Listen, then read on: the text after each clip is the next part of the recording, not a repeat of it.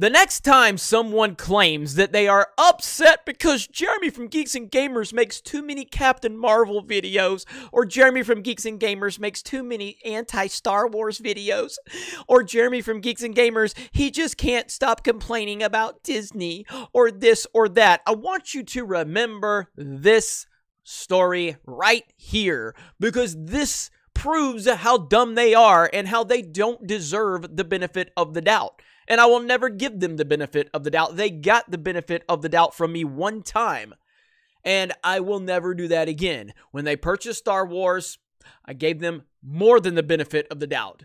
I gave Kathleen Kennedy the benefit of the doubt. I gave everything involved with Lucasfilm the benefit of the doubt because I believed that they were going to do right by George Lucas and they proved me wrong. But here we are now after all of the arguing online, the divided nature of Star Wars fandom, the divisiveness, the toxicity, we finally get something. We finally get something that the heavy, heavy majority of Star Wars fans either like or love, and that is Baby Yoda. Even though even though Bob Iger claimed that there was Star Wars fatigue, and that's why nobody went to see Solo. That's why nobody was buying the toys. That's why uh, Last Jedi made what, like $700 million less than The Force Awakens.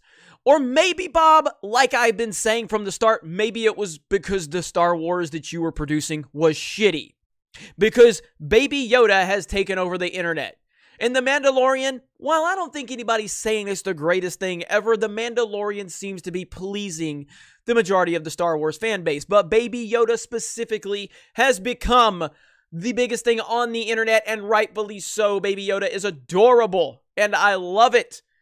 And so many other fans love it. So, what does Disney do when they see that the fans are happy? The fans are going crazy. There's enthusiasm, there's excitement, there's celebration.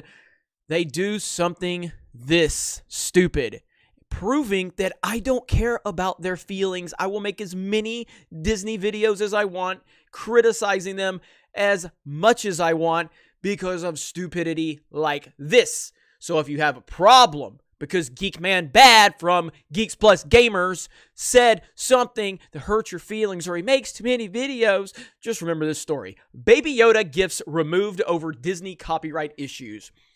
Leave our precious, powerful alien infant alone. Not only has Star Wars The Mandalorian captivated fans with its sweet space western vibe, but the show's brutally uh, uh, brutally adorable breakout character baby yoda has become the internet's prized meme-able gif-able possession.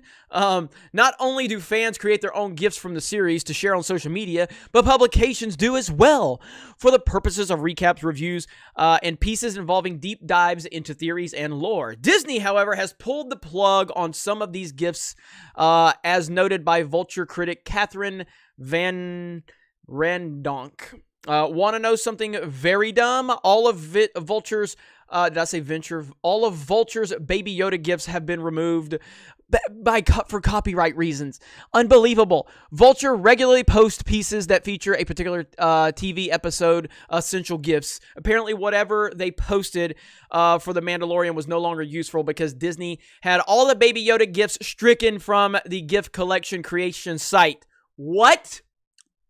Citing this Forbes article about animated GIFs and legal use, uh, they are considered fair game. Meanwhile, this is literally the example uh, in this Forbes piece about GIFs and copyright law.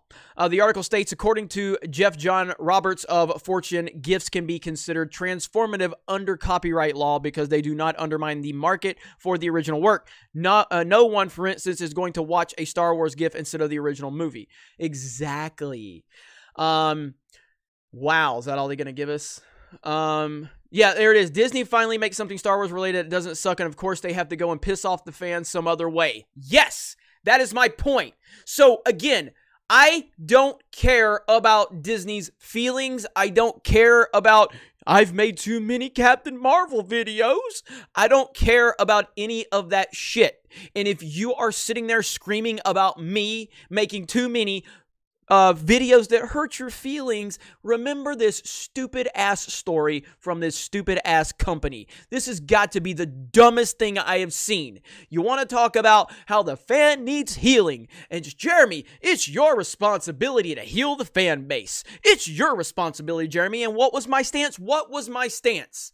It is not my responsibility to do a damn thing in terms of the fandom. It is the company that owns this property.